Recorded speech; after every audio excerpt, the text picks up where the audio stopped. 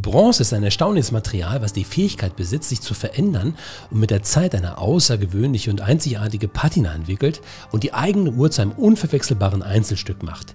Ich war schon lange auf der Suche nach einer Uhr aus Bronze, habe mich aber bisher nicht wirklich herangetraut und ich bin mir auch nicht sicher, ob mir diese optische Veränderung mit zunehmendem Alter der Uhr auch wirklich gefällt. Und deshalb wird es Zeit für ein kleines Experiment. Venezianico hat mir für dieses Experiment die brandneue Divewatch Nereide Bronzo zur Verfügung gestellt, die ab sofort auf ihrer Homepage bestellbar ist. Die Nereide ist ein bekannter Kandidat auf meinem Kanal und einer der besten erschwinglichen Taucheruhren im Preissegment unter 1000 Euro. Venezianico ist für mich immer noch ein Geheimtipp, denn man bekommt hier außergewöhnlich schöne Uhren in guter Verarbeitungsqualität für einen noch fairen Preis. Ein gutes Beispiel dafür ist die Nereide Aventurina. Das Zifferblatt aus Aventurin ist eines der schönsten Zifferblätter, das mir in den letzten Jahren untergekommen ist. Auf meinem Kanal gibt es ein ausführliches Review über diese Uhr, welche ich dir im Abspann des Videos verlinken werde. Kommen wir zu den Hard Facts. Die Nereide ist eine echte Taucheruhr mit einer verschraubten Krone und einem neu gestalteten, verschraubten Gehäuseboden und hat jetzt anstatt der üblichen 200 Meter eine Wasserdichtigkeit bis 300 Meter. Die Höhe der Uhr beträgt passable 12,8 mm. Der Abstand von Bandanstoß zu Bandanstoß beträgt 48,4 mm und sie hat einen Durchmesser von 42 mm.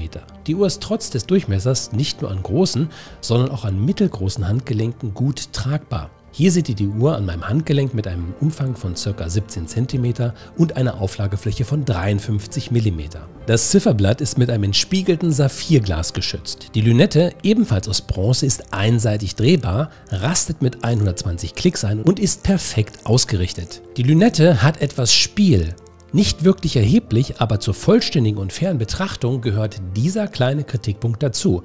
Und das ist übrigens der einzige Kritikpunkt, den ich habe. Die Zeiger, die sauber applizierten Indizes und auch das Dreieck und die Markierung in der Lünette sind üppig mit der blauen BGW 9 Superluminova Leuchtmasse belegt. Was ich öfters kritisiere, ist das Datumsfenster und die Ablesbarkeit, was manchmal am mangelnden Kontrast, an dem zu sparsam ausgeschnittenen Datumsfenster und oft an dem zu hohen Abstand zwischen Zifferblatt und Datumsscheibe Scheibe liegt. Das ist hier richtig gut gelöst und ein positives Beispiel und Vorbild für alle Uhrenmarken, wie es eigentlich sein sollte. Das Degradé-Zifferblatt hat einen sehr schönen Farbverlauf und wird zum Rand hin dunkler. Die Uhr folgt, wie es eigentlich bei fast allen Venezianik-Uhren feststelle, einem stimmigen Farbkonzept.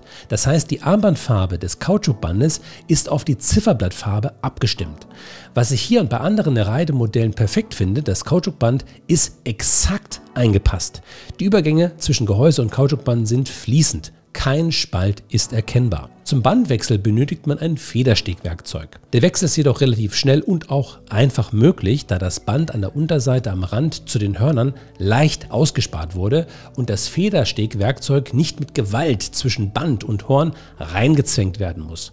Trotzdem würde ich mir hier ein Quick-Release-System für den blitzschnellen Bandwechsel wünschen. Das optionale handgefertigte Lederarmband ist ja mal wohl der Knaller. Das Leder, aber auch das Kautschukband sind Made in Italy. Die Bandanschlussbreite beträgt 22 mm. Das Besondere am Lederband sind die Schriftprägungen auf dem gesamten Band, die im Original auf den Mosaiken des Markusdoms dargestellt werden. Venezianico greift auch hier die ruhmreiche Geschichte ihrer Heimatstadt Venedig auf und verleiht so der Nereide ihre ganz persönliche italienische Note. Das Lederband ist für 85 Euro zu haben. Wenn dir das Video gefällt, dann würde ich mich über ein Like sehr freuen, denn das zeigt YouTube, dass es sich lohnt, dieses Video anzuschauen und wird dadurch auch anderen Unbegeisterten vorgeschlagen, die dann meinen YouTube-Kanal entdecken. Und das hilft mir natürlich ungemein. Vielen, vielen Dank für euren Support. Das Besondere an der Nereide Bronzo ist das Gehäusematerial Bronze.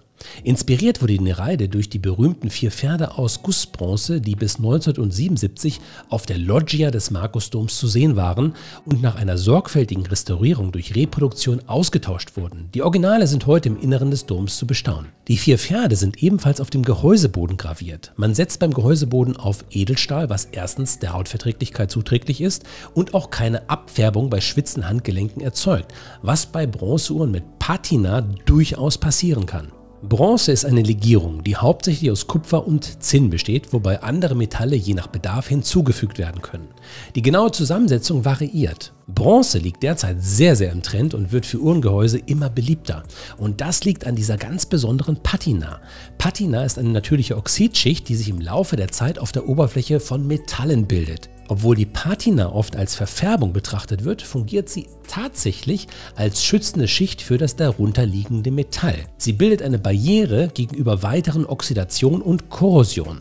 Bronze hat eine charakteristische goldbraune Farbe, die oft als ästhetisch ansprechend empfunden wird, mit der Zeit dunkler wird und im Extremstfall bis zu einer blau-grünen Verfärbung führen kann. Was mich überraschte, war doch die relativ helle goldene Farbe der hier eingesetzten Bronze viel heller, als ich sie von Uhren anderer Hersteller her kenne.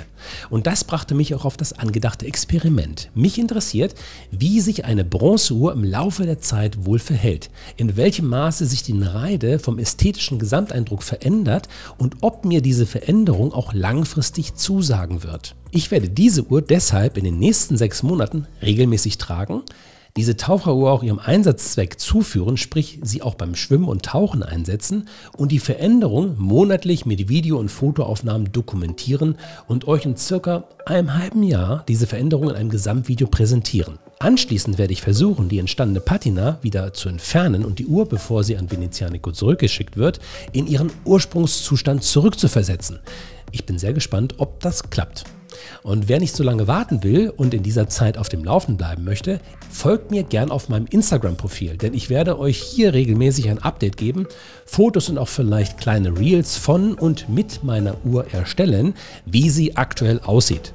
Den Link zu meinem Instagram-Profil findet ihr auf meinem YouTube-Kanal. Einfach auf die Kanalinfo gehen und dann auf den Instagram-Link klicken. Für alle die, die den aktuellen Look lieben und eigentlich gar keine Patina mögen, Venezianico legt jeder bestellten Uhr ein spezielles Putztuch bei, mit der man anfängliche Farbveränderungen auch sofort wieder entfernen kann. Ob das Putztuch bei mir funktioniert, zeige ich euch dann in spätestens sechs Monaten. Die Nereide Bronzo ist ab dem 26. Januar vorbestellbar und wird in der Pre-Order-Phase für einen Preis von 876 Euro angeboten. Der normale Listenpreis liegt bei 1095 Euro. Und wenn ihr jetzt noch einen Blick auf die Nereide Aventurina werfen möchtet, deren faszinierendes, funkelndes Zifferblatt aus Aventurin besteht, dann kann ich euch wärmstens das folgende Video empfehlen.